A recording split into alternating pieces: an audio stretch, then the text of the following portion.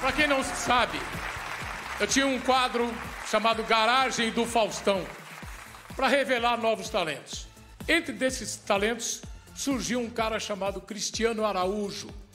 E depois ele foi ao programa, já fazendo, começando a fazer sucesso, foi lá que ele foi lançado.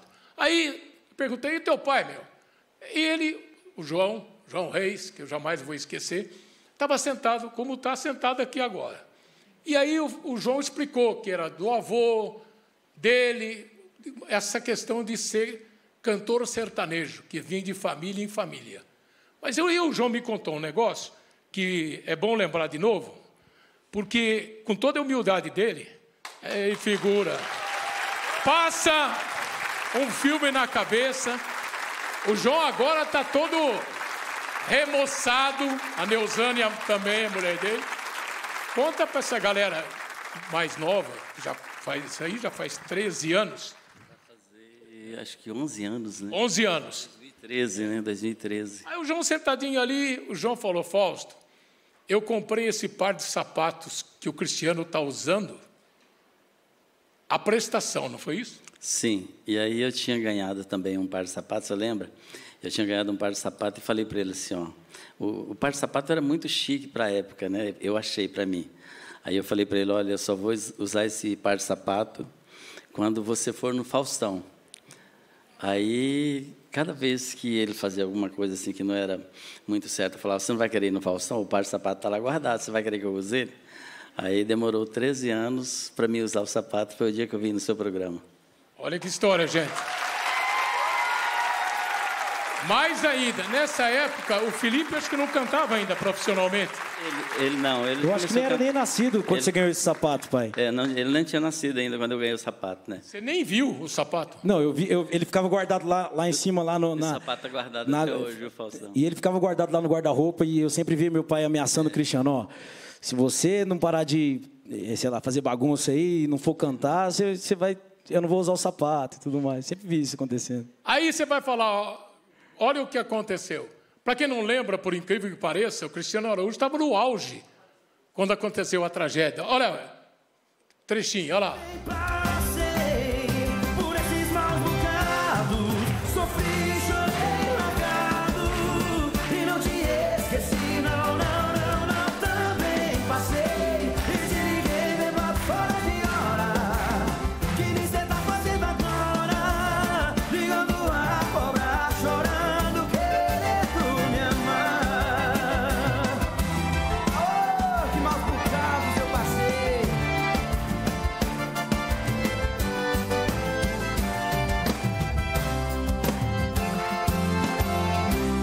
Seu coração gritou por mim. Na última moda sertaneja que o DJ tocou. Pra piorar era aquela que a gente dançava. A saudade bateu e você chorou. É, eu sei tá difícil. E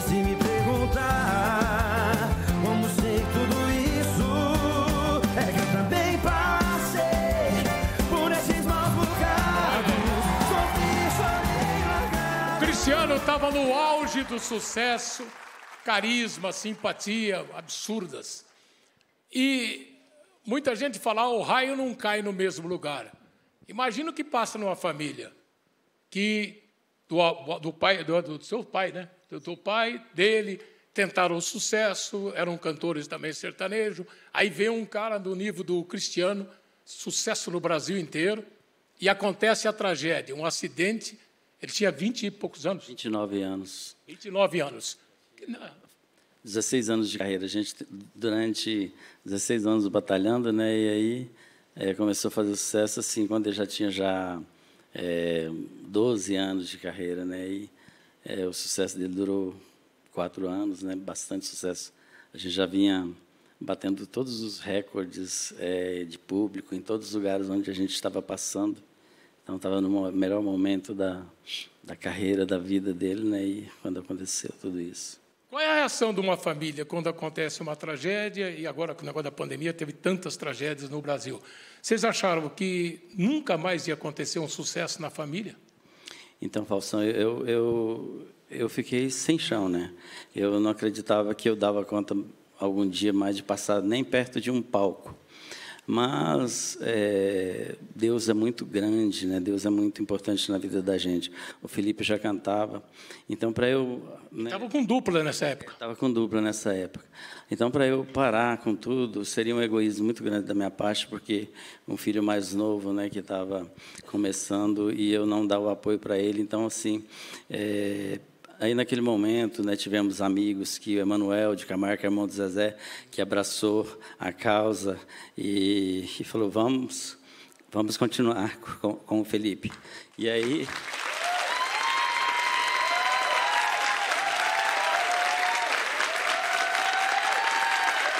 Na verdade, acho que nem o Felipe acreditava que pudesse acontecer com ele o que acabou acontecendo, né, Felipe? Então, Faustão, na verdade, eu, nessa época eu já estava com quatro anos de carreira, assim, eu comecei a cantar com, com 15 anos, 15 para 16 anos, e eu sempre acreditei que as coisas pudessem acontecer, assim, sempre acreditei, o meu irmão, ele sempre me apoiou demais, ele tinha um orgulho tremendo de ter um irmão que cantava também, e sempre andei ao lado dele, assim, ele sempre É legal, porque normalmente pinta ciúme, inveja, e não teve não, isso. nunca teve nada disso. Meu pai sempre ajudou todos nós, meu pai sempre, sempre apoiou a minha carreira a gente também. estava preparando, né, Felipe, para lançar o Felipe é, nacionalmente, né, cinco meses depois. Estava Com dupla, é, a gente estava né? preparando para lançar no final do ano, né? Aconteceu, né?